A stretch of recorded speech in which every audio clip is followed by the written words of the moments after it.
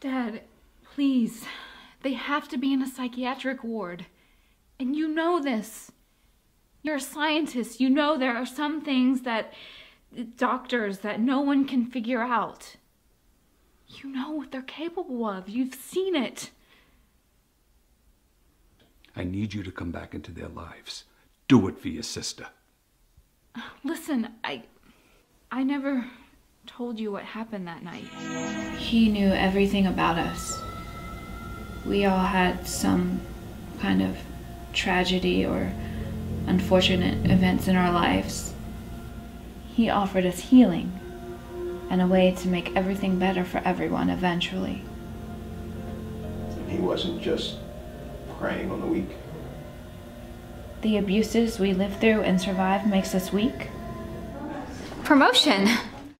Yeah, I'm talking about executive vice president. Promotion? How did he get a promotion? I've been waiting for a promotion for four years. Executive vice president. He doesn't do anything. He's only been here six months. Really? Wow. Terrific. I I think Eddie and I just broke up. I don't know. He he came home and we started fighting and you know, it was all his fault, okay? Did you see that picture he posted today? That girl, the girl, the one he was friends with, you know, a few years ago. They still keep in contact sometimes. I don't know, Mandy, Amanda. I don't know. She's she's a skank, okay? When's the last time you saw him?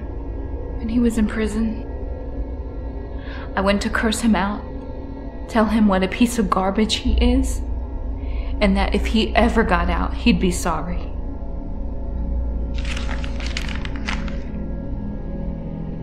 You say you found this? Dago la mia vita per questa famiglia.